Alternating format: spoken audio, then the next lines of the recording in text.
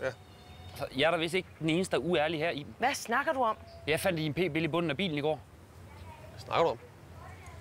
Ja, jeg har fundet den her bilen. Håber jeg kraftede med løgn. Og den spyttet ud. Hvor du spyttet p-pillen ud? Fanden har du ikke sagt det til mig før, helt ærligt? Hvorfor siger du ikke sådan noget til mig? Nu har jeg lige knippet en dem. Ved du hvad? Du er sgu du idiot. hvad? Nu, nu tror Har jeg har simpelthen, at, at festen stopper her. Og så pakker vi vores ting, og så tager vi hjem. Frank, det havde du ikke behøvet at sige det der. Jo, han havde behøvet at sige, men han havde behøvet at sige det i går i stedet for i dag. Kasper, så, så, så må du tvinge hende til at tage en uh, fortrydelsespil, jo. Kraftedeme. Har du set det kød her? Vil du æde det? Mia, vil du æde det? Nej, jeg ved da ikke.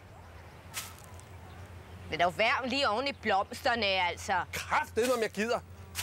Vil du godt lade være med Nej, I det gider jeg bygger ikke. plante?